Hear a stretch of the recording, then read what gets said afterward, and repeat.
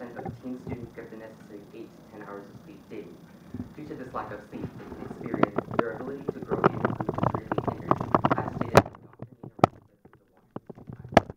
As educators and school administrators, have you ever thought about how you can make students more productive and better learners?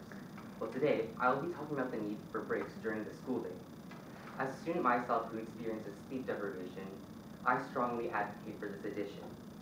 I will present the issues associated with sleep deprivation, a solution to this problem, and the opposition to the solution. To start off, why are these breaks necessary? Sleep deprivation among high schoolers is an issue because their ability to their academic success is harmed. It can cause poor grades, depression, suicidal thoughts, and anxiety, as stated by Ruth Ann Richter from the Stanford School of Medicine.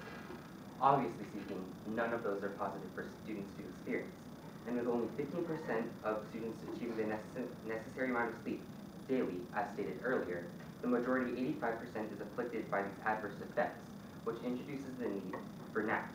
However, despite this evident necessity, skeptics still question the necessity. People often believe that naps and breaks have no benefits, but this mindset has been proven wrong. According to Mayo Clinic, naps can reduce stress, improve alertness, and provide better performance and better memory retention. To further solidify my point, according to a study by Alejandro Lleras of the University of Illinois at Urbana-Champaign, groups given breaks were able to focus more than groups that were not. Clearly, the effectiveness cannot be questioned as they've been shown to provide positive benefits. Next, how can this be introduced into our school? To fix our issue of sleep deprivation, naps are the solution. For school schedule, we can add a 15 to 30 minute smart period class between 4th and 5th period. During this time, students can have a nap or take a break from learning in general, and both of which have been shown to provide focus and productiveness. As you can see, the solution is very simplistic and only requires a small amount of time for students to be able to rest. And with its addition, changes will happen. When put into effect, the day will function normally, but in the middle of fourth and fifth period, there will be a smart period where students will be able to relax and have a break or a nap in order to recharge for the rest of the day.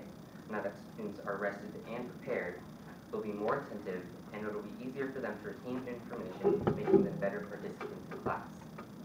For us, we get the much needed break time that we have demanded for and gets and for you teachers, you get students that are more focused.